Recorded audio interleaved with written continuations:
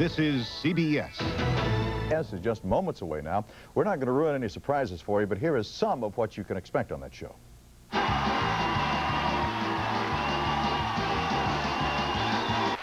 I, am very excited about working for CBS. I just found out, in addition to doing this show every night, turns out next week I get to kill a guy on Murder, She Wrote. So I can't... David was at his finest, and Bill Murray came out there, and, I mean, he was just too good.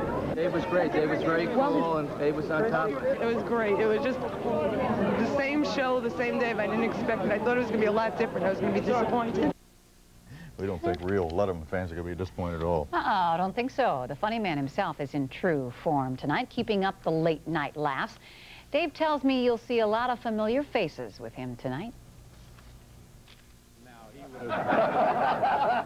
When David Letterman announced his $14 million move to CBS, he almost forgot someone.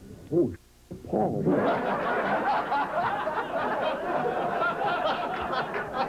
Have you got a little extra for Paul? Or? Must have found the money, because Paul Shaffer is back as the hippest man on television. I have aspired to hip, if I may. Uh, I don't think I've really made it. I, all I can do is uh, just uh, admit to you how important the concept of hipness has always been to me. Join me, Paul, and the Dave Letterman Dancers. What's he really like? Um, he is a uh, he is like a, a, gentle rainfall in a Japanese uh, uh, rock garden. Speaking of love, I think it was uh, George Bernard Shaw who said you can't you can't start it like a car, you can't stop it with a gun. He breaks me up and it's not, you know, ho ho, yes, sir. It's a little of that. Dave tells me a lot of the old late-night crew are making the move with him. Yeah, pretty much the same staff. In fact, look who's here. It's our stage manager, Biff Henderson. Biff, come on Yay, in and take a bow. Biff, all right. we ex expect a few new stupid pet tricks out of Biff, though. Yeah, well, Biff, uh, Biff is endlessly entertaining, although it would be difficult to prove here today. Dave is moving from gracious Rockefeller Center to the Ed Sullivan Theater in New York. CBS bought and restored the place just for Letterman.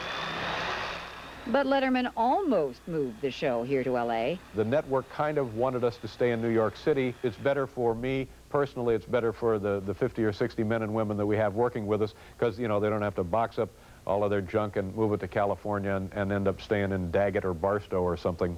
New theater, but same show, same cast. Still, Dave revealed to me one major change he has uh, planned. If I can tell you this, and I haven't told anybody else this, but the first night out, I'm going to be in an evening gown. I'm, I'm looking around. I have my eye on a couple of things, and it's not, it's not going to be cheap. It's not going to be showy. It's not going to be flashy. It's going to be tasteful, but provocative. They can just get Larry Bud Melman in one. Dave makes his debut next. Thanks very much for joining us. From all of us on the Action News team, have a nice night. Hello, Dave.